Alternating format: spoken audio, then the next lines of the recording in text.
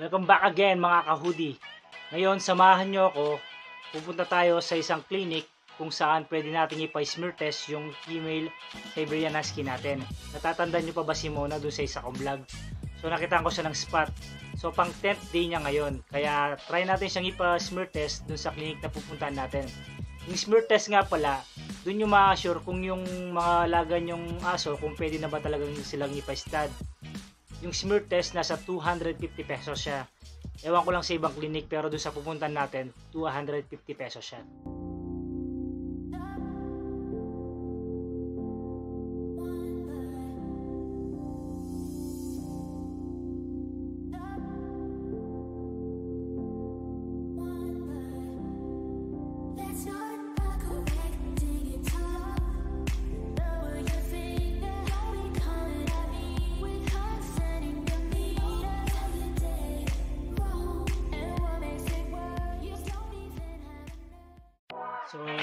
Yun nga mga kahudi, galing na tayo dun sa clinic.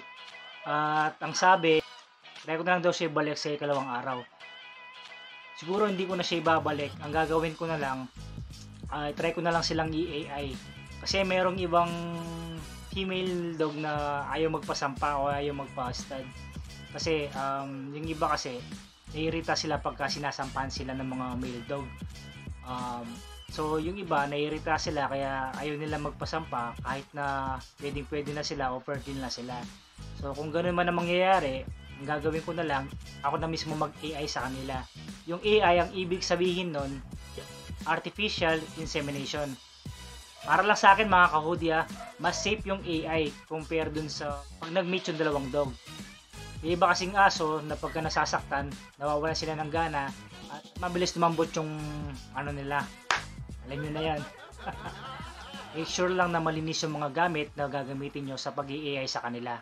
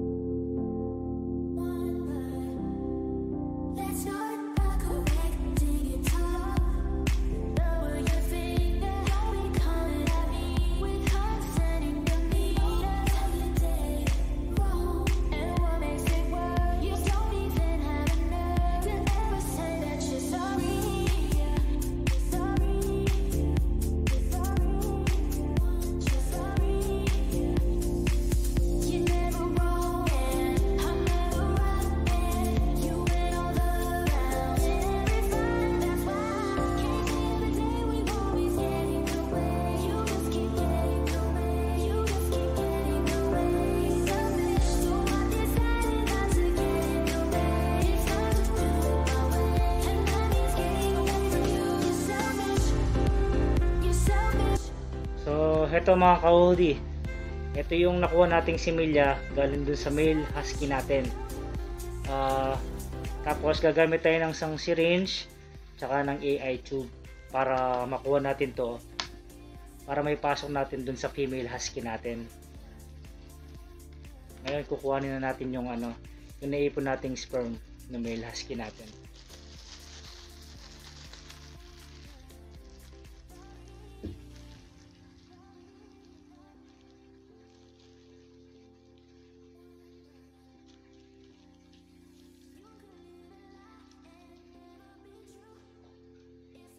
So, ito, nakakuha tayo ng ano, 5 ml.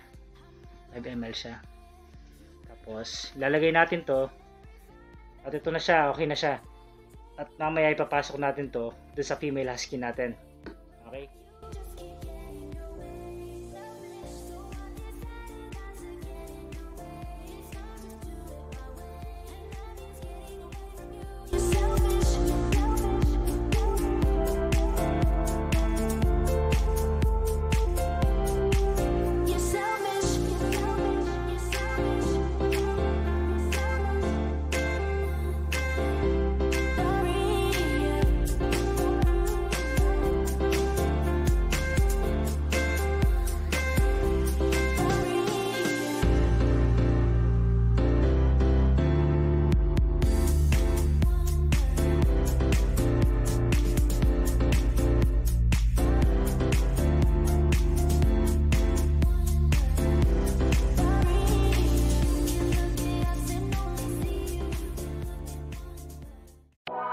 Shoutout nga pala kay Kuya na nasa Baguio sa night market sa Baguio City.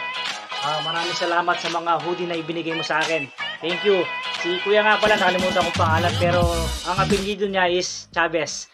Meron daw siyang kamag-anakan sa Lubao, Pampanga. Kaya kung gusto niyo makakuha ng mura at quality na hoodie, punta niyo si Kuya. Thank you. Oh, ayun na nga mga ka-hoodie. Natapos na nating i-AI ng dalawang beses yung mga husky natin. So sana mag-take ngayon. Um, i-update ko kayo kung mabubuntis siya kasi ah, magbibilang tayo ng 40 days. 40 days mula nung na-AI natin sila. Doon natin makikita ng mga signs kung talagang nabuntis yung female husky natin na si Mona. Ah, tapos kung buntis siya, so mag-expect na tayo ng 60 to 65 days na makaanak siya. At gagawin natin ulit ng vlog yon. Kaya sana mga kahudi tutukan nyo to. Sana nag-enjoy kayo. Maraming salamat. Thank you.